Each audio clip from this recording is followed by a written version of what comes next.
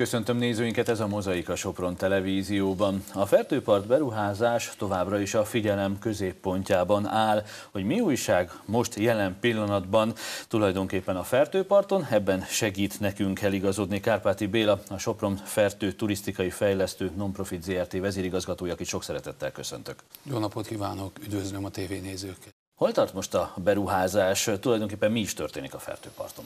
A Fertőparton a jelenlegi kivitelezésben a mélyépítés zajlik. Ebben benne kell érteni azt, hogy minden, ami majd későbbiekben a talpunk alatt van, az létre fog jönni. Létrejönnek a partfalak, létrejönnek a zagytározók, ahova majd az üzemeltetés során a kikotort iszapot kell majd elhelyezni a későbbi évtizedekben. Létrejönnek a közműrendszerek, amely nagyon fontos, mert a jelenlegi 2017 előtti közműrendszerek, amik ott a helyszínen voltak, azok hát nagyon elavultak voltak, és környezetvédelmi kockázatot jelentettek a tóra magára is, meg a környezetre is. Tehát ezeket a munkálatokat láthatjuk. Most nagyon nagy földmunkák vannak, szárazkotrások vannak, illetve kikötőmedence kialakítások. Egyébként, akit ez részleteiben érdekel, azoknak javaslom, hogy nézzék meg a Facebook oldalon, kövessenek minket, vagy a fertőpart.hu oldalon, hiszen oda minden aktuális hírt, képet, videófelvételt felteszünk arról, hogy mi történik most pont azért, mert tudjuk, hogy ez nagyon érdekes ez a munka. Hogyha valaki szeretne betekintést nyerni, akkor tudjuk, hogy látogasson el erre az oldalra. Viszont vannak olyan kifejezések, amik nem biztos, hogy komolyabb kutatómunka nélkül felelhetők, ilyen például a szárazulat. Mi is a szárazulat tulajdonképpen? Nézze, a fertő parton először is tisztázni kell pár dolgot. Először is ez az egyetlen egy olyan területe Magyarországnak, ahol turisztikai célokkal fejlesztést lehet végrehajtani, illetve ahol turisztikai beruházás van, vagy turisztikai célú pihenőhelyet lehet létrehozni. Hiszen a Fertőnek az összes többi községe környékén nagyon kiterjedő a nádas rész, ami fokozottan védett zónája a Nemzeti Parknak. Ez a terület viszont szándékosan ugyanúgy, mint az Ausztriában lévő összes többi strand, olyan ter- környezetvédelmi és természetvédelmi besorolást kapott már a Nemzeti Park létrehozásakor, hogy itt ezen a területen a későbbiekben valamikor, és ez az idő most érkezett el, megfelelő fejlesztéssel ö, ö, ki lehessen alakítani egy pihenőhelyet, vagy az ott lévő infrastruktúrákat lehessen javítani.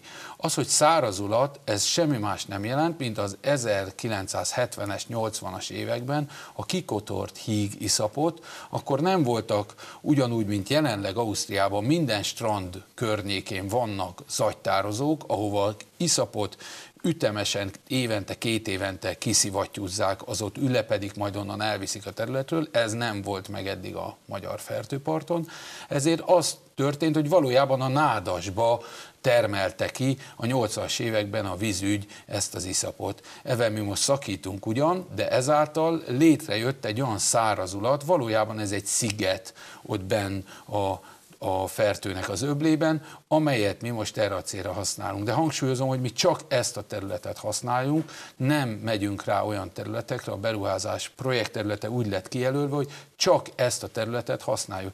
Egyébként ezt használták korábban is az emberek, a természetvédők madarásztáborokat tartottak ott, én is részt vettem korábban ilyen madarásztáborokon ott, ez a cölöpházak mögötti erdőben volt. Egyébként érdekes, hogy csak azért, mert ott szárazulat volt, ezért ott, ott létrejönni az erdő. Hát amúgy mindenütt, ahol elég mély a víz, ott nádasok voltak, illetve Hát sajnos illegális hulladék elhelyezésre is sokan használták, amivel végül is a projekt indításakor szembesültünk, mert 2019 során több száz tonna illegális hulladékot, rengeteg több teherautónyi gumiköpenyt, meg ilyesmit kellett a területről elvinni. Tehát valójában, ha innen közelítjük meg, ez a beruházás nem, hogy ahogy a beruházás kritizálók avval kritizálnak minket, hogy ez természetvédelmi károkozás, nem, ez valójában úgy is fölfoghatjuk, hogy egy természetvédelmi rekonstrukciója annak a területnek. Azt jól láttam, hogy egyébként ez az erdős terület, ez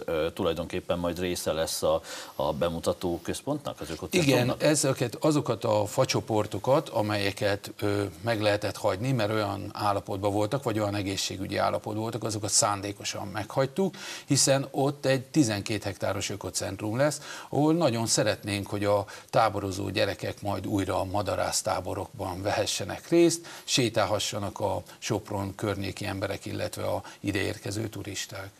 Tehát akkor azt megállapíthatjuk, hogy a fertő, már ami maradt nekünk ugye a trianoni döntést követően, csak és kizárólag ez az a terület, amely felhasználható bármi nem Igen, csak itt nem tudunk más területet használni. Tehát azok fals információk, mondjuk, hogy bozzal szembe kellene létesíteni kisebb strandot, ilyeneket is lehetné hallani. Ezek teljesen fals információk. Hát a fertő csizmájának, így mondjuk a túloldala, a Mexikó puszta környéke, hát az meg mindenki tudja, hogy a fertőnek a egyébként madár élővilág tekintetében ott a szikes tavak, a elárasztások eredményeként, akik létrejöttek, ott a legértékesebb természetvédelmi területei. Oda be se léphet, ugye? hát egy, egy, egy részét be lehet, de egyébként jól tudja szerkesztő úr, vannak a fertőnek nagyon nagy területei, amelyekre gyakorlatilag halandó ember, de még a természetvédelmi őrök is csak fokozott figyelemmel mennek be. Nem hiszem, hogy ez természetvédelmi cél lenne, hogy a turistákat ezekre a területekre összpontosítsuk. Sőt, úgy gondolom, hogy ha létrehozunk egy ökocentrumot, létrehozunk ezen a területen, ami erre a mesterségesen létrehozott területen mindig is ez volt a cél, hogy turisták ide jönnek, és itt megmutatjuk nekik, hogy milyen a fertő, akkor egy kicsit mágnesként ide tudjuk őket irányítani, tehát a fertőnek a fokozottan védett területei érintetlenebből tudnak maradni. Akkor honnan is eredeztethető az, amit a múlt hét végén olvashattunk a, a különböző netes portálokon, hogy az UNESCO francia központja azt mondta, hogy hát itt ezt most abba kell hagyni azonnal. Nézze, ez egy világörökségi kérdés. Én úgy gondolom, hogy vannak szakmák. Tehát a szakmákhoz a szakértőket kell megkérdezni. Mi nagyon a cölöpházak kérdése végül is a Fertőparton az, ami megmozgatta ezt a kérdést, és most is jelenleg ez a témakör mozgatja. Tudni kell az embereknek, hogy először is a fertőtáj az nem épített világörökségi fogalom. Tehát nem olyan, mint a budai vár, vagy a parlament, vagy hollóháza, ahol az érti, épített értékek, az épületek maguk az értékek. Amikor a szakértőkkel evel egy, erről egyeztettünk, fel sem merült az a kérdés, hogy a Fertő strandján épített világörökségi értékek lennének, hiszen hát elnézést kérek, de ön mögött is éppen egy gyönyörű tájház van kivetítve, tehát a fertő mentén lévő középkori templomokat, vagy az 1800-as évekről származtatható tájházakat nem lehet az 1970-es 80-as, sőt 90-es éveknek a könnyű szerkezetével létrehozott épület, építményeivel összehasonlítani. Hát nem hiszem, hogy itt a világörökségi érték, az már elnézést kérek, ezek nagyon illusztris, de alapvetően egy könnyű szerkezetes építmények voltak. Tehát ez a kérdés fel sem merült. Mi amikor ezt a fejlesztést elindítottuk, minden olyan szervezettel, aki valósan a területen van, értve ez alatt a kilenc horgász egyesületet, értve ez alatt a Vitorlás Szövetséget, és szakmai szempontból a Nemzeti Parkot, örökségvédelmet, országos tervtanácsot, és nagyon fontosan a Rámszári Bizottságot, aki ugye a vizes élőhelyek védelmére felelős, illetve az ICOMOS Magyarországot, aki a világörökségi kérdésekért felelős, mindenkit meginterjúoltunk, hogy hogy hajtsuk végre ezt a programot. És mindenkinek valójában az érdekeit összegyúrva jött létre ez a kép. Tehát én ebben nem tudok mit kezdeni, hogyha egy nemzetközi szervezet mást mond. Egyébként megkérdeztük a hazai szervezetők, kitartanak az álláspontjuk mellett. Én ezt a kérdést nem gondolom, hogy én nekem ebben mélyebben kéne foglalkozni jelenleg. Említette a cölöpházat, még azért arra térjünk vissza, hogy most, most ott mi a helyzet. Hát a cölöpházakról annyit kell tudni, hogy szerintem mindannyian, akik sokat jártunk a fertőpartra, tudjuk azt, hogy ott az 80-as években álltak ezek a egyébként alapvetően kisebb építmények, és ezeken áram volt, de közmű nem volt. Nem hiszem, hogy hosszabb eszmecserét kéne arról folytassunk, hogy 22 olyan építménynek, amelyben mindegyikben közel 40 fős ö, étkezde méretű helységek vannak, plusz vendégszobák, az élővíz fölött el lehet-e vezetni egy 80-as vagy 100-as PVC csőben a szennyvizét, úgy, hogy ennek nincsen gravitációs lejtése se rendes. Mióta ez a terület mi hozzánk tartozott, a mi ZRT-nk több százezer forintot költött pár év alatt arra, hogy a különböző dugulásokat és annak a, ott a fekália a fertőbe ömlött, és ezeket a károkat megoldjuk, illetve megelőzzük. Ezek környezetvédelmi kérdések az, hogy ezek tűzbiztosak voltak-e ezek az építmények, ez meg egy katasztrófavédelmi kérdés, amit szerintem a 2017-es tűzvész pontosan bizonyított, hogy ezek tűzbiztosak voltak-e vagy nem. De ezek szakmai kérdések. Itt alapvetőleg viszont egy dolgot biztosan érteni kell a tévénézőknek. A magyar állampénzét nem lehet magán ingatlanoknak, a közmű és környezetvédelmi és katasztrófavédelmi kérdésének és problémáinak a megoldására felhasználni úgy, hogy azok alapvetőleg még nem is ingatlanok, hanem építmények, és magyar állami területen vannak bérbe. Itt valójában a privatizáció részeként a nagyon sok osztrák magáncsalád vásárolt ilyen építményeket, illetve pár magyar magán tulajdon is kialakult, és nagyon elenyésző volt a céges, állami céges maradék. Én úgy gondolom, hogy itt egyszer rendet kellett csinálni, és ez a helyzet most érkezett el. És úgy érzem, hogy itt a támadások, amikor mi fejlesztésünket érik, azoknak egyébként a gyökere itt van. Egyszerűen alapvetően egyébként osztrák, de gazdasági ellenérdekeltség kezd kialakulni a fertőparton, és én úgy érzem, hogy ez jó irány a mi számunkra, hiszen ez annyit jelent, hogy az a fejlesztés, amit mi viszünk, az tényleg valósan a magyar emberek érdekeit fogja szolgálni. És ha már itt tartunk, akkor a közösségi fejlesztés. Ugye ezt sokszor hallottuk már. Mit jelent ez? Ha megnézek egy-két kommentet, akár a, közösségi oldalakon, akár bárhol, akkor mindig azt látom, hogy ez nem nekünk készül, e, ide majd csak azok járhatnak be, akik, akik kiváltságos emberek, akiknek sok pénz van a pénztárcájukban, tulajdonképpen akkor így hogy lesz közösségi fejlesztés?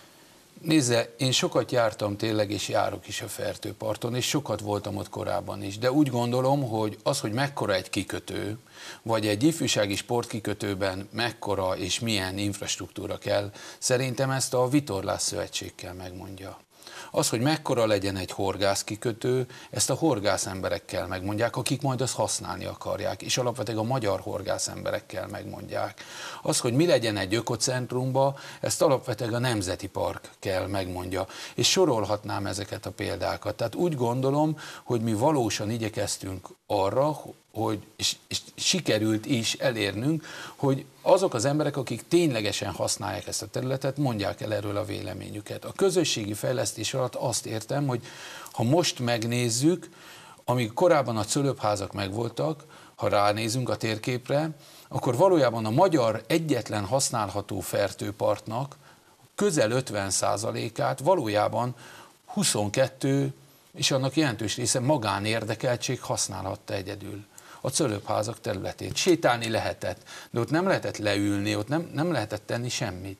Ezáltal, hogy a cölöpházak onnan elkerülnek, és mi létrehozunk nyilvános, ö, ingyenes ö, játszótereket, nagy kikötőket, sétányokat, ökocentrumot, ökoparkot, olyan területeket, amelyeket valójában magyar családoknak és a térségbe érkező turistáknak szánunk, mi úgy gondoljuk, hogy jó úton járunk. A célunk az az, hogy a fejlesztés eredményeként magyar családok ide jöhessenek pihenni. És olyan gazdasági számításokat próbálunk a projekt mögé rakni, amelyek azt tudják majd igazolni, hogy ez valóban kifizethető lesz átlag állampolgárok számára is. Vezérigazgató úr, nagyon szépen köszönöm, hogy elfogadta a meghívásunkat, és hogy reméljük, hogy egy picit sikerült rendet tennünk ez, ez ügyben is. Nagyon köszönöm a meghívást, és tényleg kérem, hogy akit valóban érdekel, hogy mi újság a Fertőparton, az kövessen minket a Facebookunkon. Kedves nézőink, ez volt Mozaik című műsorunk, tartsanak továbbra is velünk viszontlátásra.